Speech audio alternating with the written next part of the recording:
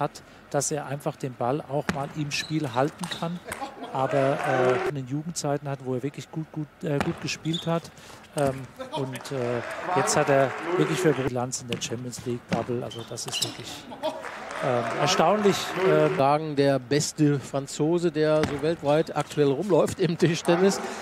Ein Tor hat gegen Bastian Steger, den Deutschen bei Bad Königshofen in der Bundesliga. War ein bisschen überraschend, dass er da schon tolle Spiele gemacht bei den Weltmeisterschaften. Zugsieg mit der Rückhand wie auch mit der Vorhand spielt, hat ein bisschen Probleme im kurzen Spiel äh, über den Tisch, aber ähm, mit viel Gefühl aus. Den hier gerade. Der kommt. Wow. Ja, einmal die berühmte Ballonabwehr gesehen. Das ist natürlich schon aus Sicht des Schweden ein dickes Brett, was er da bohren muss, um diesen Satz vielleicht noch zu drehen. 7 zu 3 jetzt. Schon lange in Ochsenhausen, kam 2013 aus Le Valois, auch eine bekannte Größe im Tisch. Sich und damit sehr deutlich höher platziert als Kellberg, der aber klar ist eins, wer doch so weit oben steht in der Weltrangliste, kann auf jeden Fall kein schlechter Tischtennisspieler sein. Dann auch nach dem 1 zu 7. Jetzt ist er komplett im Spiel drin. Sieben beide. Und ist sehr, sehr schnell an das 7-7 jetzt rangekommen. Äh, langer Aufschlag, guter langer Aufschlag von Simon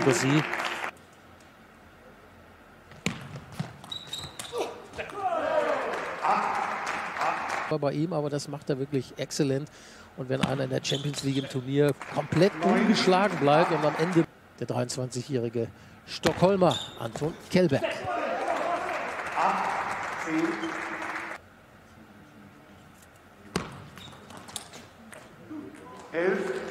Also 11 zu 8, das ging dann doch recht zügig. Aber es ist natürlich auch nicht immer die Stärke von Simon Gossi.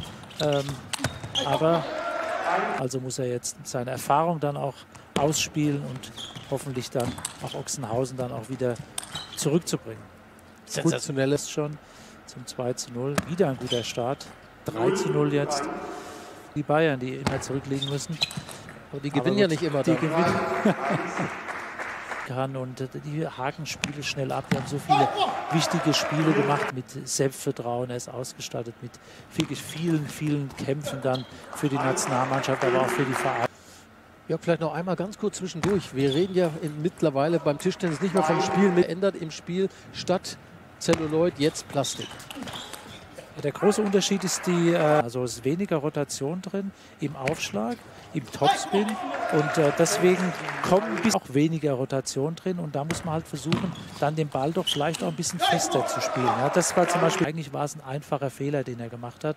Ähm, und da sieht man einfach, dass die Möglichkeiten doch jetzt viel einfacher sind mit diesem Ball, nicht auch gewesen ist. Und dann hat man gesagt, okay, man stellt auf Plastik um. Und äh, dann hat man wirklich ein anderes aber schön, dass du uns das nochmal erklärt hast, weil das fragt sich, ja, schaut doch schon der ein oder andere, der gelesen hat. Hoppla, Torwand näher gebracht. 10 zu 3 jetzt für Gosé, na den wird er wohl sich nicht mehr nehmen lassen. Gehen wir mal davon aus. Aufzubauen beim Franzosen. Gerade nach diesem doch für ihn schwierigen, schwierigen ersten Durchgang. Also, 11 zu 4. Und weiter geht's zwischen Anton Kellberg und Simon Gauzy, dem 2. Und das heißt, Ochsenhausen liegt 0 zu 2 in der Gesamtwertung sozusagen hinten. Zu 1 der Spielstand in diesem Match. Ja, Anton Kellberg also, der, der hat auch eine Beziehung zu Ochsenhausen. Der ist nämlich sozusagen ausgebildet worden an diesem unterwegs. Was hältst du eigentlich von dieser Marschroute auch in Ochsenhausen, dass die sagen, wir bilden vor allem junge Spieler? Also es ist scheinbar so ein bisschen eine Mischung auch, ne? Ja, auch Calderano war früh dort gewesen. Also im Endeffekt ist es so, dass man hier in Deutschland haben ja das äh, auch das, das System, dass wir im Deutschen Dichtenniszentrum in Düsseldorf die haben und äh, deswegen ist es da natürlich ein Tick einfacher, dann auch äh, junge Spieler nach vorne zu bringen. Aber sie machen tolle Arbeit ähm, und haben da jetzt mit Gossi einer, der schon länger dort spielt, der ein bisschen der Leader der Mannschaft ist und äh, jetzt versuchen sie das mit jungen Spielern weiterhin zu machen. Sie haben auch äh, viele junge Spieler dann äh, im, im College drin und äh, ja, ist eine gute gute Alternative und äh, da hat man natürlich die Möglichkeit auch dann vielleicht einen Tick billiger die Spieler zu bekommen, die man natürlich dann auch schon längere Zeit ausgebildet hat, langfristig mit ihnen zu arbeiten und nicht nach einem Jahr oder zwei Jahren sofort wieder in der Mannschaft zu wechseln.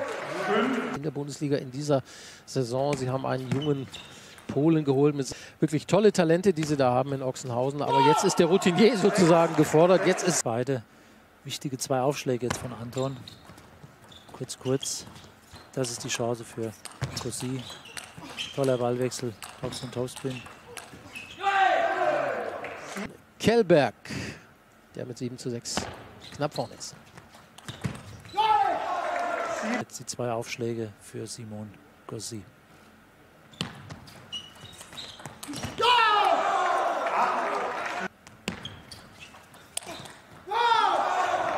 Da ist Gossi sofort. Führt jetzt 9 zu 7.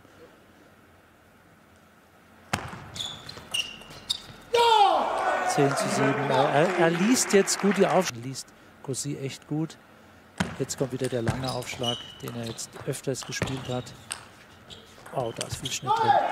Ja, das habe ich schon gesehen. Sensationeller Ball von Gossi, der sich hier tatsächlich diesen Satz holt mit einem wirklich spektakulären letzten Punkt. Diese 2 zu 1 Satzführung für Gossi, der aufschlägt. Der Mann im dunklen Trikot hinten von TTF Liebherr Ochsenhausen im Spiel gegen den Düsseldorfer, gegen Ann Carlsson, gegen den Topmann von Ochsenhausen, Hugo Calderano und Timo Boll, der super.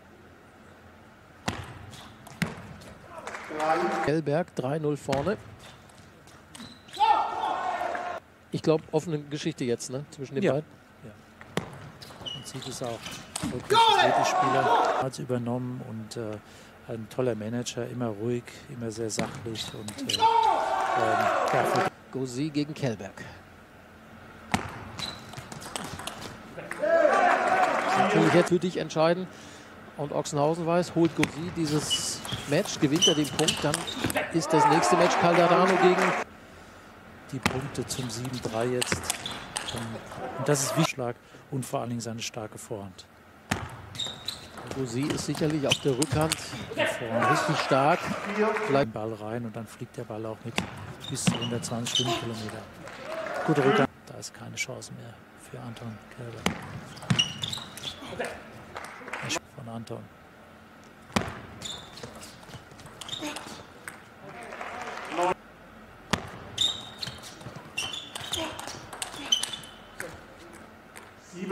den gesamten Kampf hier im Pokalfinale.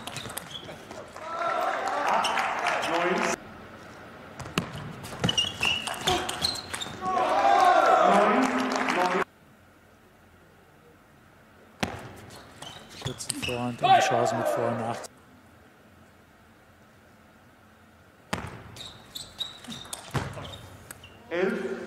Er arbeitet wie verrückt. Verrückte Spieler im Training. Hat das der Trainer gerne, ja? Welche, die man bremsen muss. Ja, das, das ist auch gut. Und Benedikt Duda, der muss bei Aufschlag jetzt kann ihn Simon Rossi unter Druck setzen.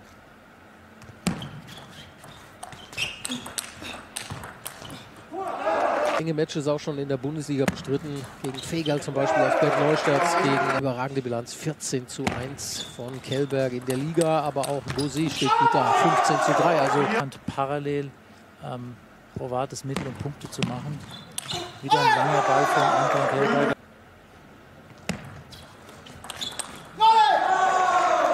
man merkt, der hat immer mehr Selbstbewusstsein getankt sozusagen durch den Ein wichtiger Punkt jetzt. Kann ein große, großer Vorsprung sein mit vier Punkten oder zwei nur. Jetzt sind es nur einfache Punkte nach seinem Aufschlag bekommen. Was bekommt er jetzt? Wieder die Chance. Gut zurückgeholt von Anton. Anton Kellbergs Aufschlag öfters auch mal den Schupf mit einbauen.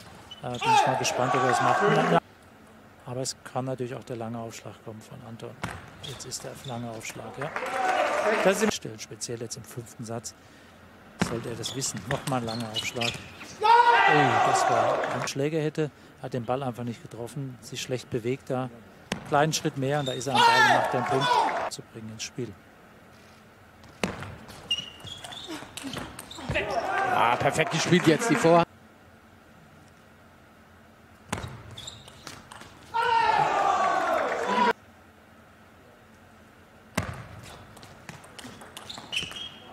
Boah,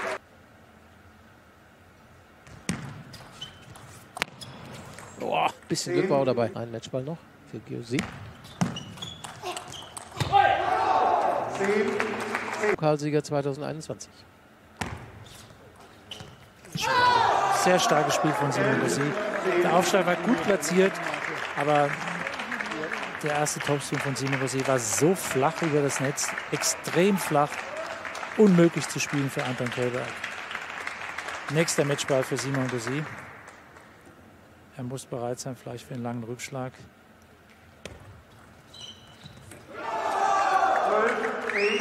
Und dann ist es soweit. Die Faust geht raus von Simon Guss.